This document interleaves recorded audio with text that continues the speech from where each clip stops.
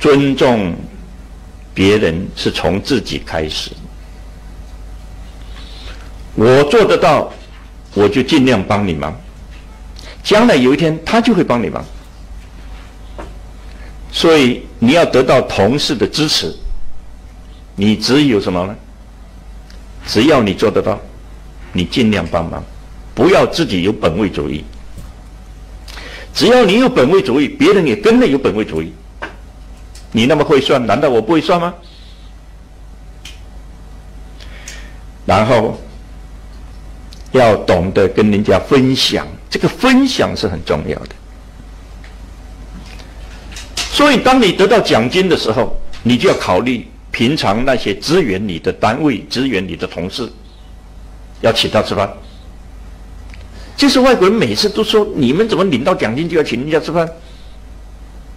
领奖金是你的事，跟别人什么关系？没有，你一定要分享。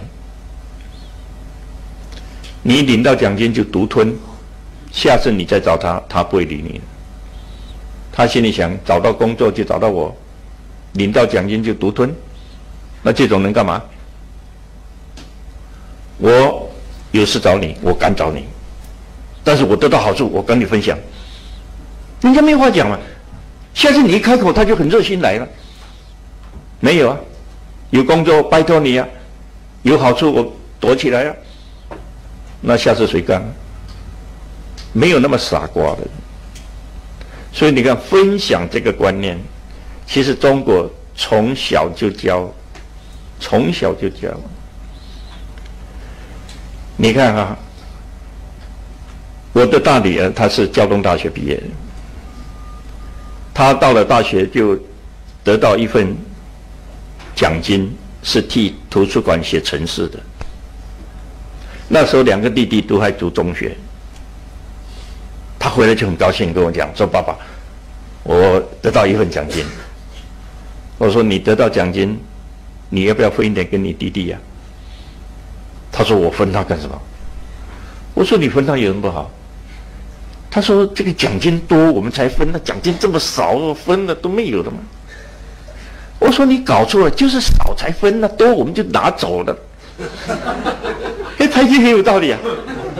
他就开始分了，分了以后就分分出好结果来了嘛。现在弟弟赚到钱也跟他分啊，他还跟弟弟分，大家都很愉快。一个观念，一生都会受到影响。什么叫家人？家人就是你哥哥得到好处，你要照我弟弟啊，不然我当当你弟弟干嘛呢？我不会叫别人哥哥啊，我叫你哥哥啊。这就是中国的那种亲情的可贵，要分享，懂得分享的人是最幸福的。好，你平常能帮忙就帮忙，你自己没有本位。你有好事情跟大家分享，那这样大家一定很尊重你。大家一直尊重你，你就可以尊重别别人。所以，跟同事讲话少讲我。一个成功的人是不太讲我的，都讲我们，都讲我们。你看我到公司去，那个总经理跟我讲我怎么样，我怎么样，我怎么样。那我就说你怎么样，你怎么样，你怎么样。就没我的事。他说：“曾老师，你看我们公司要怎么做？”我就惨了，我就变成有责任了，又变成我们的公司了。所以说一个我跟一个我们，那差太远了，差太远了。